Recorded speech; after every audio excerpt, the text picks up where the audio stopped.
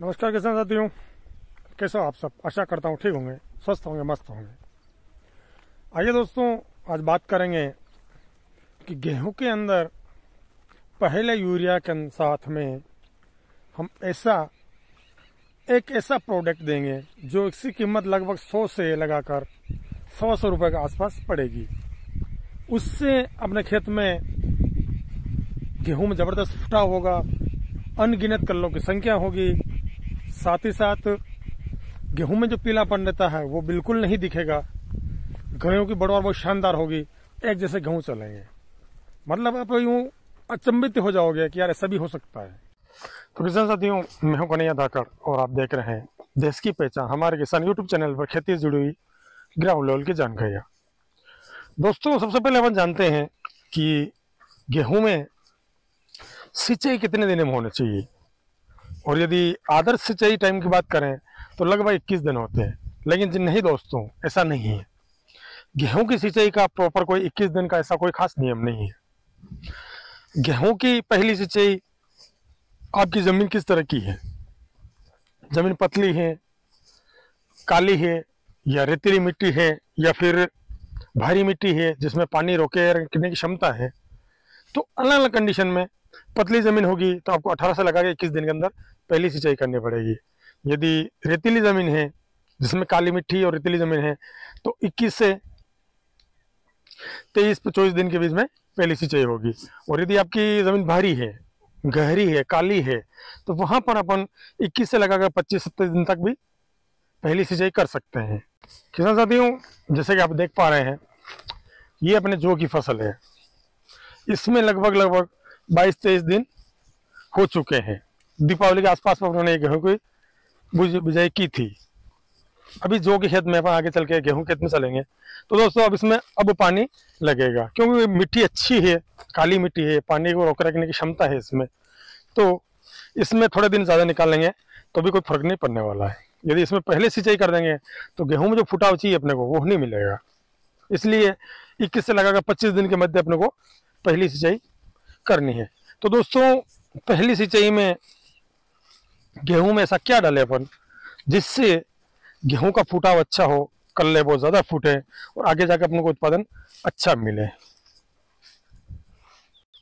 तो किसान साथियों, ये रहे अपने गेहूँ की फ़सल, जिसमें अपने छिटिक विधि से बिजाई की थी और अब इसमें पहले पानी देने की तैयारी है। देखिए, दोस्तों, देख सकते हैं आपके मतलब सिर्फ़ उन्होंने जब इसकी बोई की, उस समय पानी दिया था, लेकिन गेहूँ की कंडीशन आप देख सकते हैं।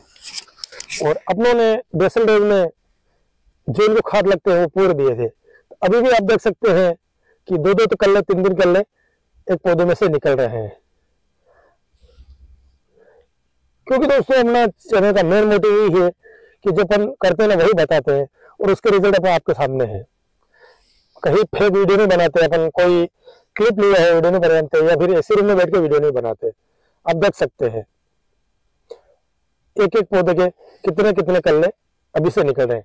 अब जब अपन पहली सिंचाई करेंगे, उस समय यूरिया के साथ में कुछ ऐसे खातों का कॉम्बिनेशन बैठाएँगे, जिससे आने वाले दिनों में अनगिनत कल्ले होंगे। वो शानदार बढ़वार होगी और साथ ही साथ गेहूँ में पीला पन्ना होगा। एक जैसे बढ़वा चलेगी और आगे जाकर ज़्यादा वालियाँ निकलेगी, ज़्यादा फल सॉरी ज़्यादा गेहूँ अपने को मिलने हैं। तो आइए ऐसा वो कौन से खाद का कॉम्बिनेशन है, जान लेते हैं।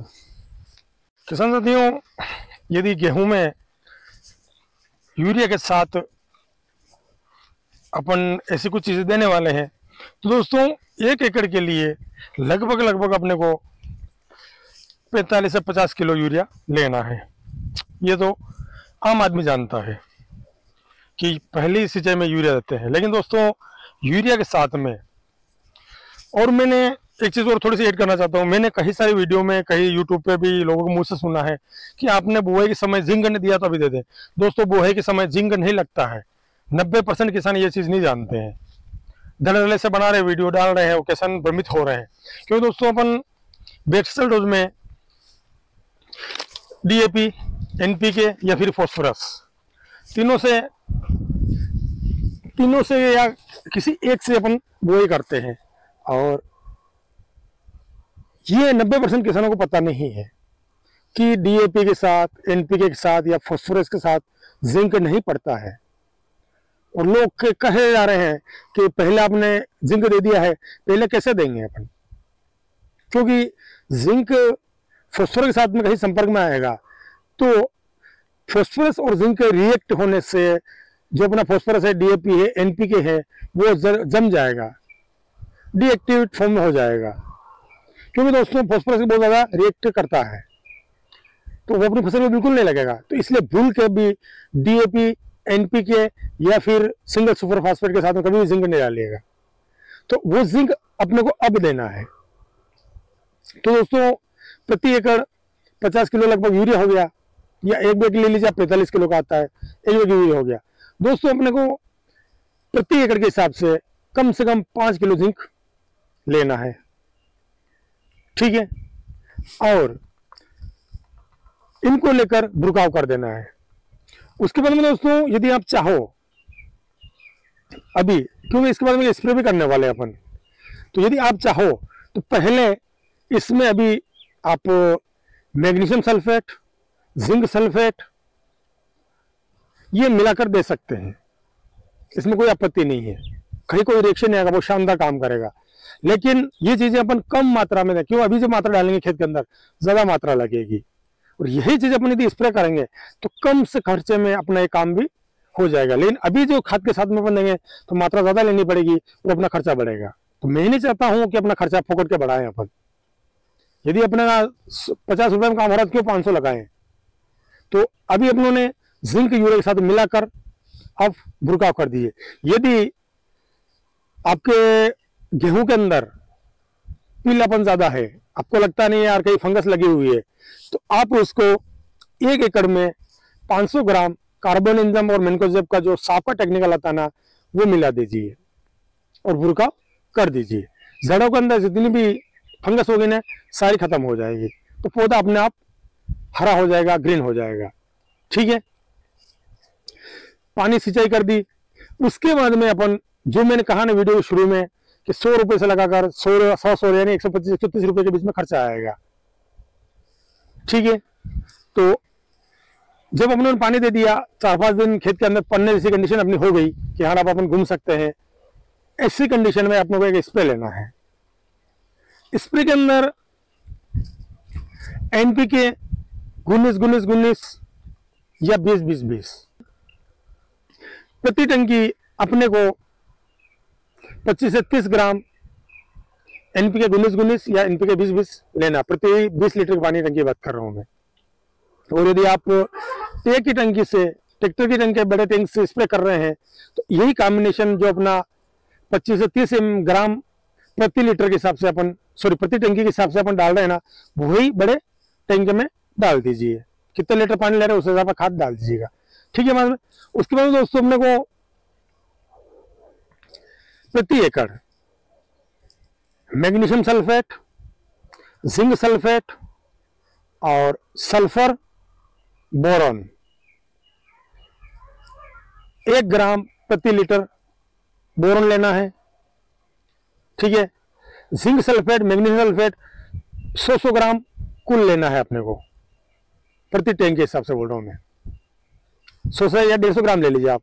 डेढ़ सौ ग्राम जिंक सल्फेट ले लिया, डेढ़ ग्राम उन्होंने मैग्नीशियम सल्फेट ले लिया। बोरन हो गया। सल्फ़र अपने को लगभग लगभग यदि आप पाउडर वाला जो फर्टिस का आता है ना, या पाउडर फॉर्म में जो भी सल्फ़र है नब्बे परसेंट वाला, वो ले रहे हैं तो आप एक किलो सल्फ़र प्रति टैंक मिला दीजिए। और स्प्रे कर दीजिए, एक जैसा स्प्रे कर दीजिए, कोई तकलीफ़ नहीं है। दोस्तों, उसके बाद में आपकी जो फ़सल होगी ना, वो देखने लायक होगी। आपके, शायद आपने देखने वाले ना आपके जो आसपास के ना लोग भी सम्मित हो जाएँगे कि यार, ऐसी फ़सल भी होती है। बिल्कुल लस ग्रीन फ़सल होगी, एक जैसी बढ़वार होगी, अनगिनत कलर को निकलेंगे। मतलब कह नहीं सकता है। दोस्तों, मैं आपको एक सिर्फ़ यूँ ही हवा में बातें कर लू ना, मज़ा नहीं आता है। ये चीज़ें प्रैक्टिकल की हुई है। आप निश्चिंत होकर करिए।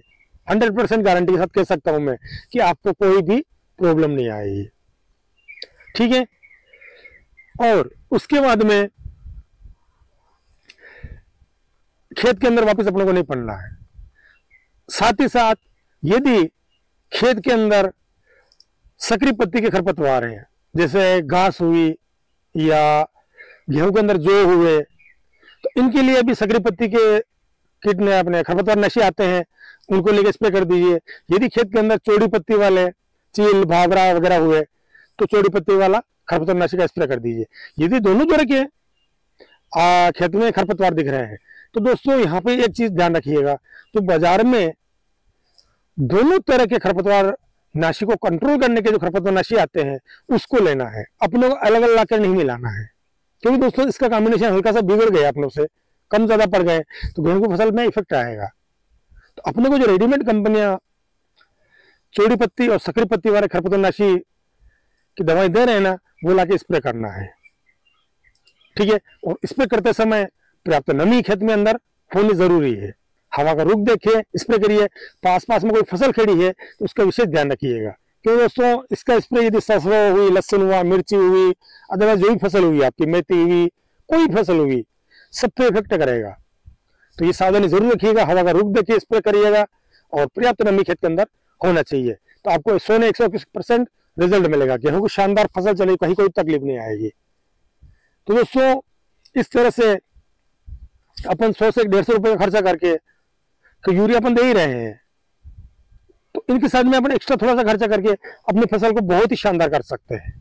आप करके देखिए और आपके फ़सल में क्या इफ़ेक्ट आता क्या नहीं आता कमेंट द्वारा ज़रूर मुझे बताइएगा। क्योंकि इसलिए मैं करता हूँ। लेकिन, देखिए, आप कहीं मानो आपको जानकारी नहीं हो या फिर आपने ये प्रैक्टिकल नहीं किया हो तो हो सकता है जानकारी के भाव में नहीं किया हो। एक बार आज साल आप करके देखिए, सौ डेढ़ सौ कोई बड़ी बात नहीं है। आपका गेहूँ की फ़सल देखने लायक होगी, आपका उत्पादन देखने लायक होगा। इसके साथ ही दोस्तों, गेहूँ में आगे जो भी अपन स्प्रे करेंगे, जो भी खाद देंगे, जो भी टोनिक देंगे, जो भी ऊपर से अपन स्प्रे के द्वारा जो खाद देंगे, सारे वीडियो टाइम टाइम पर आपको मिलते रहे इसके लिए दोस्तों, चैनल को सब्सक्राइब ज़रूर कर लीजिएगा और पास में जो बेल आइकन का घंटा है ना, उसको प्रेस करिएगा, ताकि आने वाले वीडियो सबसे पहले आप तक पहुँचे। ठीक है दोस्तों तो आज के वीडियो में इतना ही। मिलते किसी अगले वीडियो में एक नई जान के साथ में। दोस्तों, वीडियो पसंद आए तो लाइक शेयर कमेंट करना ना भूलिएगा। मिलते किसी अगले वीडियो में एक नई जान के साथ में। तब तक के लिए जय हिंद, जय भारत, जय जवान, जय किसान।